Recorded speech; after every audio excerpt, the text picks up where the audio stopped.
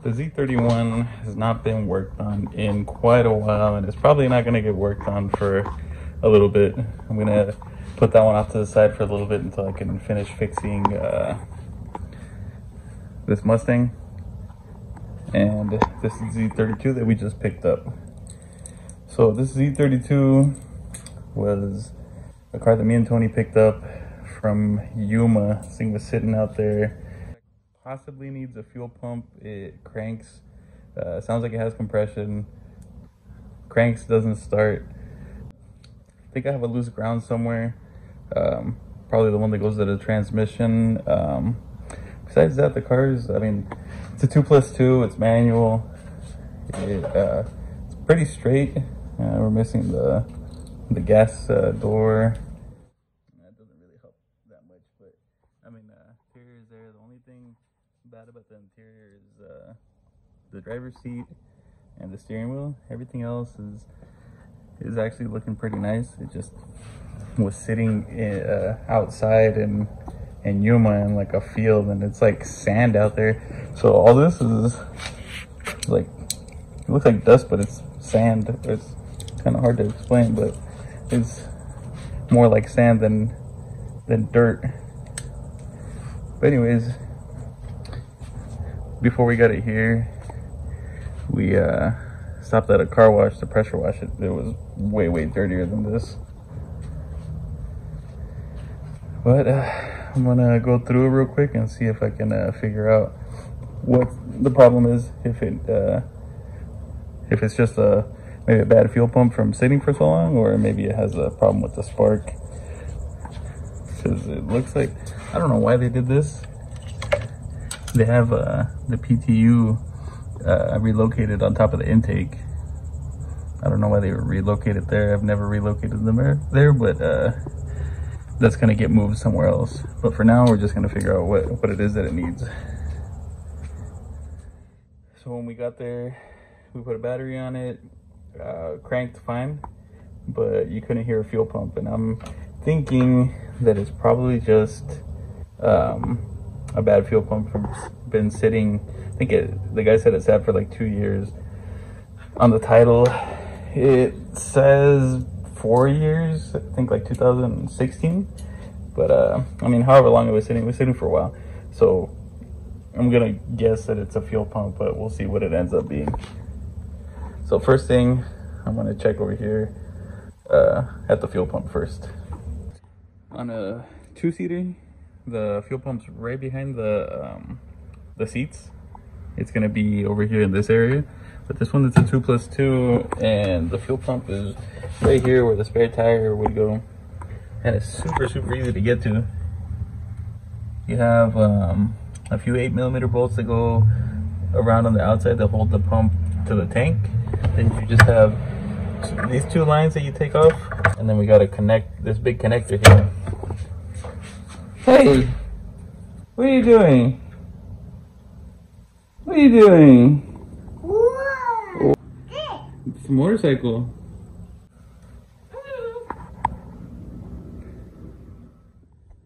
Anyways, yeah, you can see how it looks like sand. When we went to go pick up this car, I had uh, flip flops on. I swear, it felt like like when you're near the beach and you get sand between your toes. Except there's no water and the sand is stupid hot. Anyways, now I gotta try and clean clean this area a little bit enough so that I don't get sand falling into the tank. So I'm gonna try to do that next.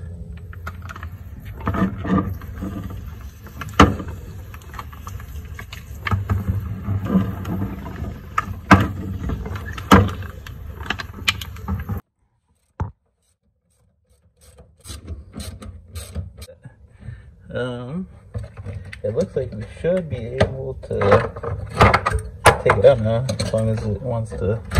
There you go. Doesn't want to come apart. And now we'll see. Maybe I could do it with one hand, or maybe not. We'll find out. I was worried about dropping the little bit of sand that was around the around the top of the tank on top of the fuel pump into the tank. And then I get the fuel pump out and it looks like this. What the heck? Well, that doesn't look good. Well, at least I'm pretty sure that my issue is gonna be here. I'm still gonna test the pump, but I'm pretty sure, and the tank is probably gonna be super nasty too. That kind of sucks. But at least we know where the issue's at. I mean, there's some crap right there that you can see. But I don't see, I don't see too much stuff. I mean, it's nothing that we can't get out. It's really not that bad. I mean, besides the old ass gas too, but I was expecting way worse. Yeah, it's not too bad. That can be cleaned. That's for sure. It's like it's like this thing is ready to fall apart. I'm gonna need the whole, the whole thing, the pump and the, the hanger and everything. Yeah, this is bad. Holy crap. Hmm. Well, kind of hard to get a connection, but we are getting one. We got nothing. I'm just dripping, dripping some gas over here. Some nasty smelling gas. All right, since uh, the fuel pump is bad and the, the whole hanger thing is bad, I'm gonna have to look for a new hanger and fuel pump and and I guess get that first and then and then uh, go back to this back to or clean the tank, find a pump, install the pump, and then uh, see what happens. See if we uh, we have a running Z. But for today, that is going to be it.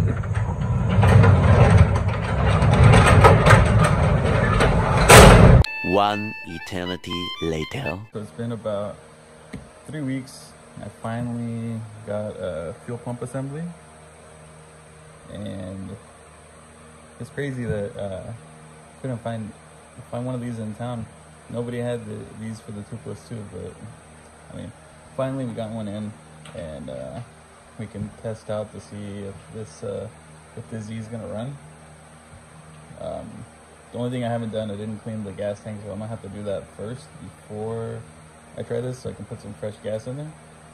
But uh, we'll get to doing that anyways guys what i mean by me cleaning the tank all i'm gonna do is get all the old gas out of there and then uh, you can see those little uh, pieces all that little crap right there that's in there. I'm gonna try and clean all that up as much as possible. I'm not gonna take the tank out and make it perfect but at least try to clean it up clean it up as much as possible. So i got the fuel pump for the Z32. I walk over here and then I find this shit. The fuck? It looked like there was like some rats or some shit in here because I don't remember digging at any of this. Something was in here. Alright guys, so what I'm going to be doing is I got this transfer pump that I brought from work.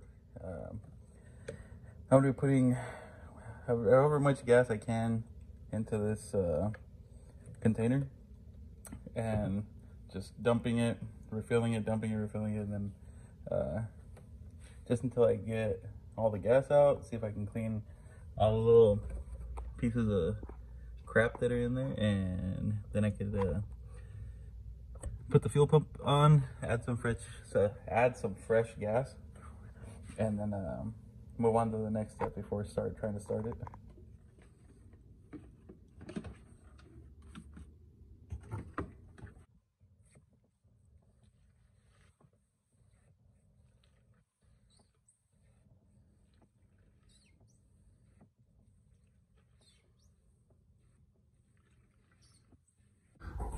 You can see some crud in there, but it's not really I guess it, I mean, it does look kind of bad, but it's not as bad as I thought it was to be. I thought it was to be way worse.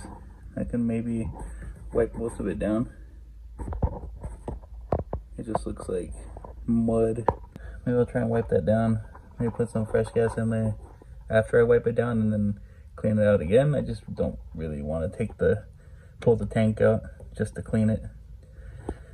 But anyways, we'll try and wipe it down and see how that goes. So I was told that that it ran. Uh, it's been about two years that it's ran. I want to say it's been more just because of how the tank and the fuel pump looked, but we're gonna go off of two years. So after we clean up this as much as as, uh, as I can, I'm gonna go to the front and pull out all the plugs, put a little bit of oil uh, in each cylinder because it's, it's gonna be dry since it's been sitting for so long. But uh, that'll help it build up some compression when we uh, first crank it up. So let's hope everything goes well. I'm gonna keep cleaning this and we'll see how it is once I'm done. Got more, I got a lot of it cleaned out. There's obviously some crud in there that I just can't get with the towels that I have. But for the most part, if I don't drop this in here. So I'd say that looks a hell of a lot better than what it did. So next thing I'm gonna do is uh, probably get some fresh gas, put the pump in, and then go on to the next step.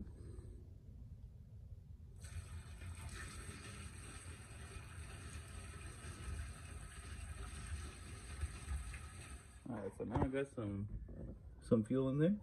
It really doesn't look that bad. Looks pretty good now. And um, I'm gonna finish putting the fuel pump on and then uh, we'll go on to the engine side of uh, putting a little bit of oil in each cylinder. All right, now the pump is on. There's only two bolts on there for now. Uh, so from what I remember, it's been a little while since I worked on these uh, dual cam VGs, but you just have to take off uh, this crossover pipe to get these uh, the two back coils out, but the rest should come out no problem. I think they're 12 millimeter bolts, and somebody already started it for me. There's a bunch of bolts missing. But uh, yeah, that's what we're gonna have to do next.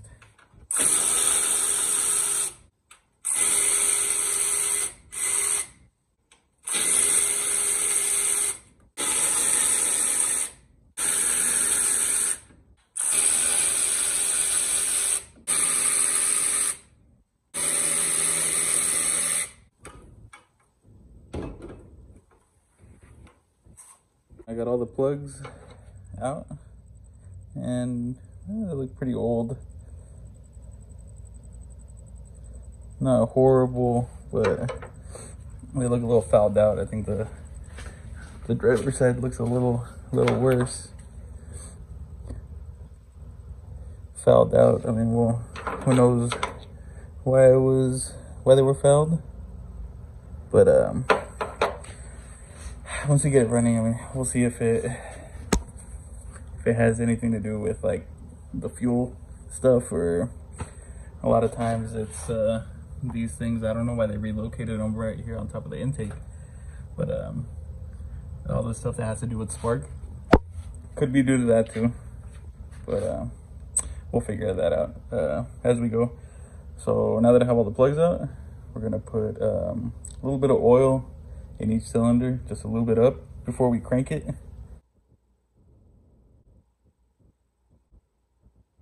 So now everything's put back together. We got oil in the cylinders. Uh, all I need now is a battery. So a battery or the jump box, whichever. But that'll have to be until tomorrow. Uh, Cause I don't have a battery and I don't have a jump box. And it is hot as all hell in here yeah, it's time to go inside. So we'll be back tomorrow with this to see see what the conclusion is. Maybe we got a running car. Hopefully. Cross fingers. See you tomorrow. Tomorrow for sure. So Ches, my lovely assistant, is gonna be the one Oh. cranking the car. Like, you're gonna be clear. I'm gonna hook up this jumper and you didn't hook it up yet? no, and we're gonna hope that it starts. So are they spraying? All right. Let's make sure it's in neutral. We'll see what happens. Just turn the key on first and see if. Don't hear the pump. No? No. You don't hear anything? Try and turn the key and see if it doesn't. No? That was it? I'm gonna turn it again. Alright.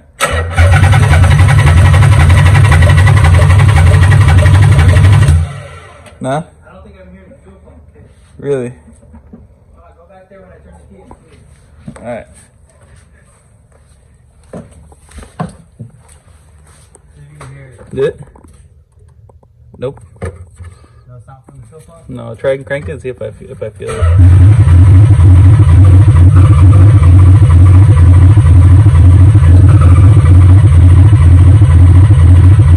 to the fuel pump. probably.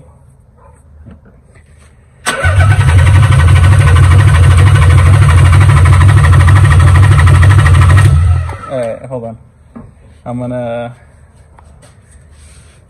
I'm gonna um, undo one of these intake pipes and see if we Spray it. yeah. Dang, just tried too hard. The inner one was off. Okay. Second attempt. Oh. Yeah. Uh, like it's like two like two gallons. Uh, open the throttle or hit the throttle real quick. All right.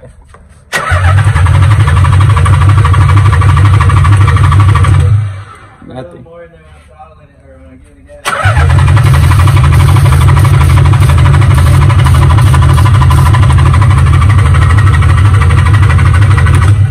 Nothing. Uh, you think there could be, the lines could be dirty though too? Yeah, but it should have started with that. True. I don't have that fuel or ether huh? starter fluid here.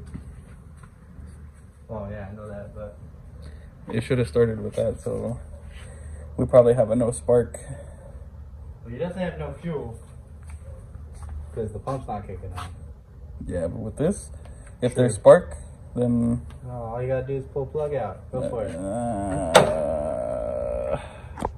Oh, I don't think I have. Uh, Can you? I don't have any tools. I took them back. I took them back to the shop. Well then, all right. Uh, hit the the throttle. All right, let's go again.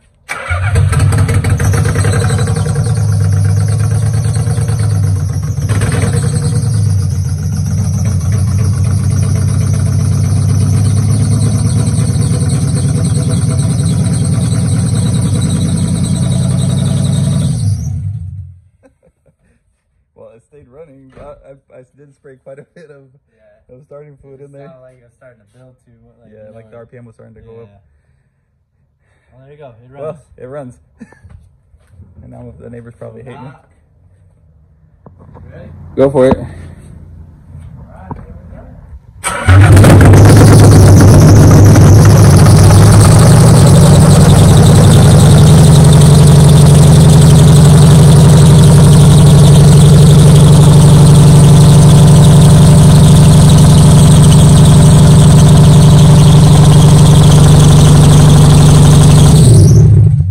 Yeah, I turned about 15 yeah? RPM. 15?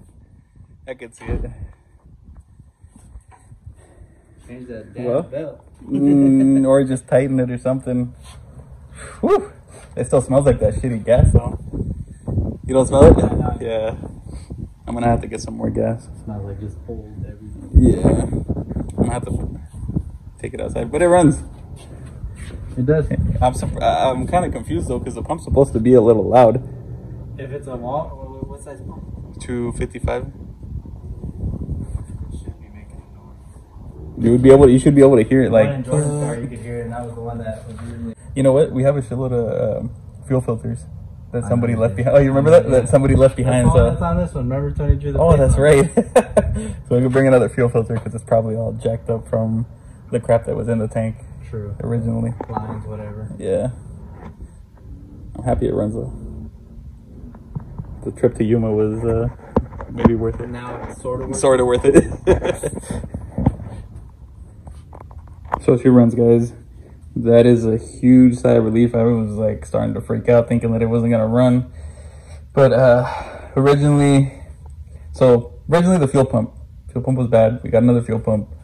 Um, put oil in the cylinders to uh, lubricate it before we started cranking it. I got the jumper hooked up to it. Uh, cranked fine, but then uh, we still weren't getting anything. It kind of sounded like it wanted to start, but it still wouldn't start. Uh, I sprayed some brake cleaner, which is like starting fluid, into the intake. Um, it still wouldn't start. So I checked for spark. I didn't record that though. Uh, but I checked for spark um, at the coil and we didn't have spark. So then I looked at all this crap right here and I was starting to remember how these things were like notorious for the stupid connectors to just like pop off. And of course right now when I want to do it, oh there it is. But they just pop off the, the clips that hold them in would always break. So which one was, I think it was this guy right here. This one was like halfway on and this one just like slipped off as soon as I moved it. So those weren't connected correctly. That's why we had no spark. Then tried it again, sprayed starting fluid into the intake again, and it started. And I mean, I sprayed quite a bit in there, but I didn't spray enough for it to stay running the way that it did. So I'm, I'm gonna assume that the fuel pump's working. Maybe I just need to put another fuel filter on. And I have a bunch of them at the shop that whoever was there before left behind that I'm, I'm sure work for this.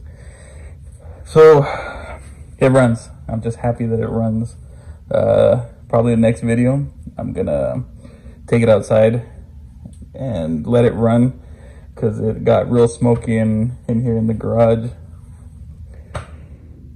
Another thing I forgot to mention is that, uh, I don't know if I did mention, but uh, it has headers, but that's it. I don't know if we could see that.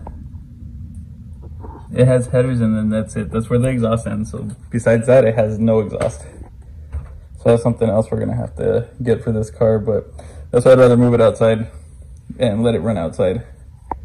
Um, and do it during the day so that my neighbors don't hate me that bad. They're probably still gonna get annoyed that this car is super loud. Anyways, that's gonna be it for this video, guys. Uh, hope you guys enjoyed it and uh, maybe we'll see some more of this car in the future. Anyways, that's gonna be it. Peace.